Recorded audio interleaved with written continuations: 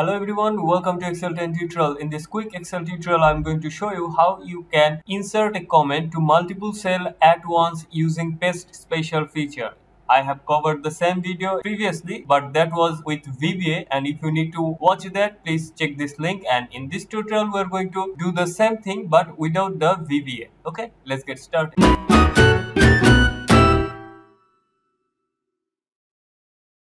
So First, we are going to insert a comment here. Let's say in G4, right click here and click on insert comment and I'm going to write. So this is the comment and now I'm going to insert this comment to this column. Okay, simply copy it and select the data range and right click here and click on paste special and you can see there is option comments click here and click OK. And you can see I just inserted single comment to multiple cells at once. This is what I wanted to show you. Thank you. Thanks for watching. See you in the next tutorial and don't forget to subscribe.